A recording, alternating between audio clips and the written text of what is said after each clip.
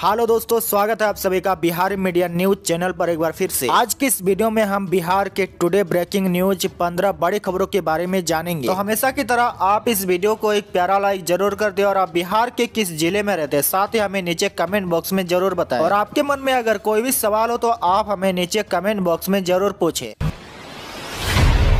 आज की सबसे पहले खबर, बिहार और पूर्वी यूपी में चक्रवर्ती तूफ़ान आसानी को लेकर अलर्ट जारी। तेज हवा के साथ होगी बारिश। जहाँ चक्रवर्ती तूफ़ान आसानी की आशंका को देखते हुए आपदा प्रबंधन विभाग ने जिलों को अलर्ट मोड में रहने को कहा है। विभाग ने कहा है कि इस तूफ़ान में निपटने के लिए हर संभव आवश्यक कार्रवाई की जाए और सतत निगरानी रखी जाए। इस बाबत विभाग के ओएसडी संदीप कुमार की ओर से सभी जिलाधिकारियों को पत्र भेजा गया है। विभाग ने कहा कि मौसम विभाग ने अलर्ट के माध्यम से सूचित किया है कि आसानी चक्रवर्ती की उत्पत्ति बंगाल की खाड़ी से हो रही है। इससे पश्चिम बंगाल, ओडिशा, आंध्र प्रदेश से प्रभावित होने की चेतावनी दी गई है। बिहार में भी इसका प्रभाव पड़ सकता है। इसके मद्देनजर ही विभाग ने कहा है कि आसानी चक्रवर्ती से उत्पन्न स्थिति के आलोक में बिहार के कई जिलों में तेज या हल्की हवा के साथ, हल्की या मध्यम बारिश के वज्रपात के साथ होने की संभावना है। अगली बड़ी खबर, अब निजी अस्पतालों में भी गंभीर टीबी मरीजों का होगा मुफ़्त में इलाज, नीतीश सरकार के स्वास्थ्य मंत्री मंगल पांडे की घोषणा। जी हाँ स्वास्थ्य मंत्री मंगल पांडे ने कहा कि राष्ट्रीय इस्मा उन्मूलन कार्यक्रम के तहत अब निजी क्षेत्र के चयनित अस्पतालों में भी गंभीर टीबी रोगियों को मुफ़्त या सीमित खर्च पर इलाज की सुविधा मिलेगी। विभाग चयनित निजी अस्पतालों में ड्रग रजिस्टेंस सेंटर खोलेगा ताकि वहाँ ऐसे मरीजों का मुफ़्त या सीमित खर्च पर बेहतर उपचार मिल सके। प्रथम चरण में राज्य के कुछ प्रमुख निजी अस्पतालों से इस संबंध में बात हुई है। सोमवार को श्री पांडे ने कहा कि निजी अस्पतालों में टीबी के गंभीर मरीजों का इलाज खर्चीला होता है। इस कारण गरीब तबकों के इलाज में परेशानी होती है। ऐसे में इन अस्पतालों में मुफ़्त या सीमित खर्च पर इलाज की सुविधा मुहैया कराई जाएगी। अगली बड़ी खबर डिप्लोमा सर्टिफिकेट प्रवेश प्रतियोगिता परीक्षा की डेट घोषित 17 मई से B C C board dot Bihar dot government dot in पर शुरू होंगे आवेदन। जी हाँ बिहार संयुक्त प्रवेश प्रतियोगिता परीक्षा परिषद ने बिहार संयुक्त प्रवेश प्रतियोगिता परीक्षा 2022 के लिए फॉर्म भरने की तिथि जारी कर दी है। ऑनलाइन आवेदन की प्रक्रिया 17 मई से शुरू होगी। फॉर्म भरने की अंतिम तिथि छह जून है। चलान से पेमेंट की अंतिम तिथि आठ जून है। ऑनलाइन पेमेंट की तिथि नौ जून रखी गई है। आवेदन फॉर्म में 10 से 12 जून तक रात 12 बजे तक सुधार कर सकते हैं। सामान्य अभ्यर्थियों के लिए एक हज़ार तथा अन्य अभ्यर्थियों के लिए पाँच सौ रखे गए हैं। पीसीएमबी के लिए ग्यारह सौ रूपए देने होंगे। इसके अलावा अभ्यर्थी अन्य कोर्सों में भी एडमिशन ले सकते हैं। बी सी सी दो हज़ार बाईस के तहत स्नातक स्तरीय कृषि pharmacy physiotherapy bachelor of medical laboratory technology bachelor of operation technology bachelor of radio imaging technology bachelor of optometry BSc nursing एवं अन्य सामान्य पाठ्यक्रमों में दाखिला होगा। प्रवेश परीक्षा में शामिल होने के लिए student online form B C S C board dot Bihar dot government dot in पर जाकर आवेदन भर सकते हैं। अगली बड़ी खबर, बिहार में घर फ्लैट का निर्माण कराने वालों को जल्द राहत मिलने के आसार, बिहार सरकार कम करने वाली है बालू की कीमतें। जी हाँ राज्य में जल्द ही आसमान छूती महँगाई के मार झेल रहे घर फ्लैट का निर्माण कराने को राहत मिलने के आसार है। खासकर प्रदेश में बालू की कीमत नीचे जा सकती है। बिहार राज्य खनिज विकास निगम ने बचे हुए लगभग सौ बालू घाटों की नीलामी प्रक्रिया शुरू की है। ये बालू घाट प्रदेश के पटना, भोजपुर, औरंगाबाद, रोहतास गया, जमुई, लखीसराय, सारण, अरवल, बेतिया, बक्सर, बांका और किशनगंज जिलों में है। बिहार खनिज विकास निगम की तैयारी जून से पहले इन बालू घाटों में खनन शुरू कर देने की है, ताकि एनजीटी के आदेशों के तहत बालू के खनन पर रोक से पहले की अवधि में ही इसे पूरा कर लिया जाए। इन बालू घाटों पर खनन के कारण मांग के मुताबिक पर्याप्त बालू बाज़ार में उपलब्ध हो सकेगा। इससे कीमतों में कमी के आसार भी है। अगली बड़ी खबर, बिहार में किसानों को फिर से मिलेगा फ़ायदा। नीतीश सरकार देगी यह सब्सिडी। जी हाँ बिहार में किसानों के लिए एक अच्छी खबर है। नीतीश सरकार ने एक बार फिर से किसानों को कृषि यंत्रों पर दी जाने वाली सब्सिडी को चालू करने का फैसला किया है। कृषि यंत्रों पर सब्सिडी देने की योजना एक साल बंद करने के बाद अब राज्य सरकार फिर से चालू करने जा रही है। केंद्र की योजना तो पहले से ही चल रही थी, लेकिन किसानों का इससे काम नहीं चला तो फिर से राज्य सरकार अपनी योजना लाने जा रही है। लगभग सौ करोड़ का प्लान बना है। सरकार की मुहर लग गई तो इस बार 80 यंत्रों पर सब्सिडी मिलेगा।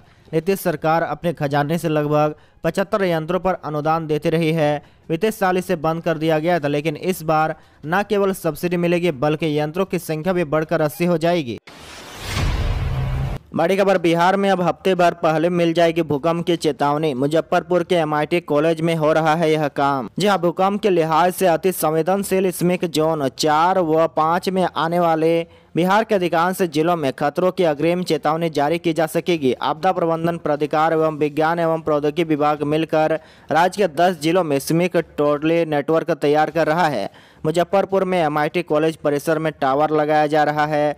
पटना, मुजफ्फरपुर, मुंगेर, सहरसा, पूर्वी चंपारण, पूर्णिया, दरभंगा, सीतामढ़ी, गोपालगंज व छपरा में बी टावर लगाया जाएगा। बी टावर धरती के कंपन का उसी तरह अध्ययन करेगा, जिस तरह मानव के दिल की धड़कन की गिनती होती है। अदालत में धरती के कंपन के परिवर्तन को रिकॉर्ड किया जाएगा। इसके आधार पर ही न्यूनतम समय में भूकंप का पूर्वानुमान चेतावनी के साथ जारी किया जाएगा। अगली बड़ी खबर बीपीएससी पेपर लीक मामले में पटना से आरा तक ईओयू का छापा, प्रचार वीडियो व दारोगा समेत एक दर्जन से पूछताछ। जी बिहार लोक सेवा आयोग की सड़सठवीं संयुक्त प्रारंभिक प्रतियोगिता परीक्षा के प्रश्न पत्र लीक मामले में आर्थिक अपराध इकाई यानी कि ईओयू की टीम पटना से आरा तक लगातार छापे मारे व पूछताछ कर रही है। सबसे बड़ी कार्रवाई आरा के वीर कुंवर सिंह कॉलेज केंद्र से जुड़े अधिकारियों पर हुई है। कॉलेज के प्राचार्य सह केंद्राधीक्षक डॉक्टर योगेंद्र प्रसाद सिंह परीक्षा नियंत्रक सुनील कुमार, सेंटर मजिस्ट्रेट सह मढ़हारा के प्रखंड विकास पदाधिकारी जयवर्धन गुप्ता और दारोगा संतोष कुमार समेत कॉलेज के चार अन्य कर्मचारियों को पटना लाकर पूछताछ की जा रही है। सुबह से शुरू हुई पूछताछ देर रात तक की जारी थी। इसके अलावा पटना के बोरिंग रोड से पेपर लीक की सबसे पहले शिकायत करने वाले छात्र नेता दिलीप कुमार समेत चार लोगों से भी ईओ की टीम ने पूछताछ की है।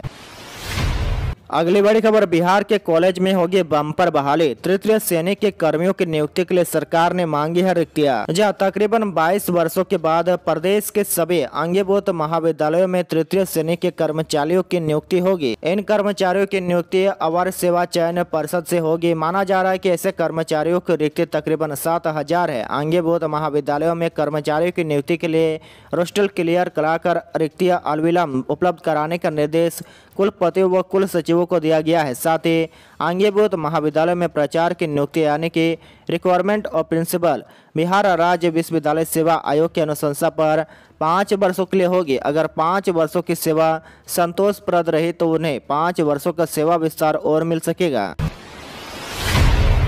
बड़ी खबर, बिहार में चौथी लहर को लेकर अलर्ट। पटना में रविवार को सबसे ज़्यादा संक्रमित मिले। जहाँ देश में कोरोना की चौथी लहर को लेकर अलर्ट की स्थिति बनी हुई है। कई राज्यों में संक्रमण की रफ्तार तेज हुई है। ऐसे में बिहार के अंदर भी खास सतर्कता बरती जा रही है। चौथी लहर की आशंका के बीच रविवार को पटना में सबसे ज़्यादा संक्रमित मिले। पटना में रविवार को कुल आठ में मरीजों की पहचान हुई है। इसके साथ ही जिलों में एक्टिव केस की संख्या बढ़कर पैंतालीस हो गई है।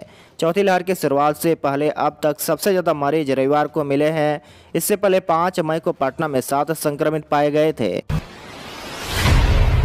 अगली बड़ी खबर, रेलवे ने आज से शुरू कर दी शादी के लिए पूरे कोच को बुक करने की सुविधा। जी हाँ रेलवे ने कोच बुक करने के लिए आदेश जारी कर दिए है। यह सुविधा फिर से 10 मई से बहाल होने जा रही है। हालाँकि यह सुविधा पहले भी थी, लेकिन कोरोना काल की वजह से इस बार प्रतिबंध लगा दिया गया था।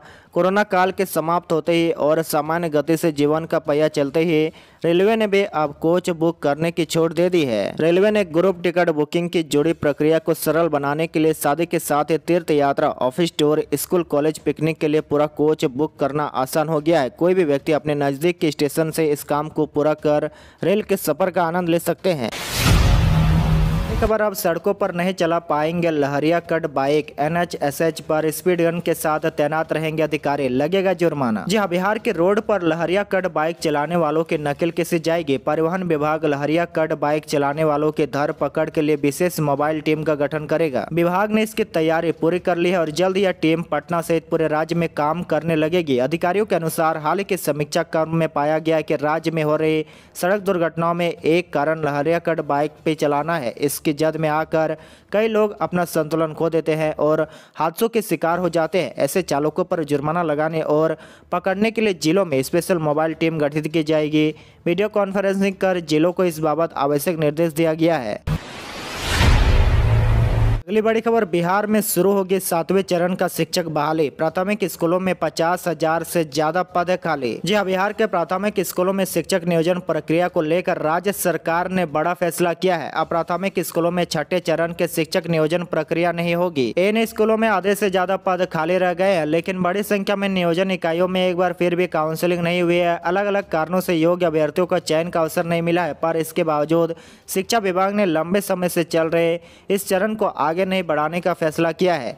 विभाग ने छठे चरण के प्रारंभिक नियोजन को खत्म करने का फैसला लेते हुए इस चरण के बचे भी और इस दौरान बचे नए रिक्तियों के आधार पर सातवें चरण की बहाली की तैयारी भी आरंभ कर दी है। अगली बड़ी खबर, बिहार के तीन सौ उन्यासी माध्यमिक विद्यालयों में स्थापित होंगे दो दो स्मार्ट क्लास, कंप्यूटर और प्रोजेक्टर से होगी पढ़ाई। जहाँ राज्य सरकार ने सरकारी विद्यालय में भी प्रतिष्ठित निजी स्कूलों की तरह ही आधुनिक सुविधाएँ उपलब्ध कराने की दिशा में कदम बढ़ा दिया है। उन्होंने बिहार प्रोजेक्ट के तहत तेईस सौ उन्यासी माध्यमिक एवं उच्च माध्यमिक विद्यालयों में इस साल दो दो स्मार्ट क्लास स्थापित किए जाएँगे। इनके लिए बिजली की निर्बाध आपूर्ति सुनिश्चित की जाएगी। अगले साल तीस जून तक सभी माध्यमिक विद्यालयों में स्मार्ट क्लास प्रोजेक्ट को पूरा किया जाएगा। बड़ी खबर, राज्य में मई से सितंबर के बीच गेहूँ के बदले लोगों को मिलेगा केवल चावल। जी हाँ खोले बाज़ार में गेहूँ न्यूनतम समर्थन मूल्य से अधिक पर बिक रहा है। किसान सरकारी एजेंसियों को गेहूँ बेचने के बदले आम कारोबारियों और बड़े कॉरपोरेट को अधिक दाम पर बेच रहे हैं। इसका सीधा असर सरकार द्वारा की जा रही खरीदारी पर पड़ा है। इसको देखते हुए सरकार ने इस रबी सीज़न के लिए न केवल गेहूँ खरीद के अपने लक्ष्य को कम किया, बल्कि पीएम गरीब कल्याण अन्न योजना के तहत मई से सितंबर के बीच लोगों के केवल चावल ही देने का निर्णय लिया है। राज्य के लिए निर्धारित गेहूँ, चावल के कोटे को संशोधित कर दिया गया है। आप लोगों को इस योजना के तहत केवल चावल मिलेगा। पहले बिहार के लिए एक दशमलव सात लाख टन गेहूँ और दो दशमलव छः लाख टन चावल का आवंटन किया गया था, जिसे बाद में बदलकर चार दशमलव तीन लाख टन चावल कर दिया गया है। दरअसल, गेहूँ की कीमत बढ़ने के पीछे रूस और यूक्रेन युद्ध और फरवरी मार्च में तापमान ज़रूरत से अधिक बढ़ने के कारण कम पैदावार बड़ा कारण है। रूस और यूक्रेन दोनों ही गेहूँ के बड़े निर्यातक देश है, लेकिन युद्ध की वजह से इन देशों में भारत में गेहूँ आयात नहीं हो पा रहा है। वहीं अधिक तापमान के कारण भी गेहूँ का उत्पादन कम हुआ है। पिछले साल की तुलना में रबी के इस सीज़न में गेहूँ के पैदावार में 15 से 20 फ़ीसदी की कमी आई है। आज के लिए आपका सवाल बताए कि बीपीएससी सरस्वती परीक्षा के पेपर आउट होने का सबसे बड़ा कारण क्या है? इसका जवाब आप हमें नीचे कमेंट करके ज़रूर बताएँ।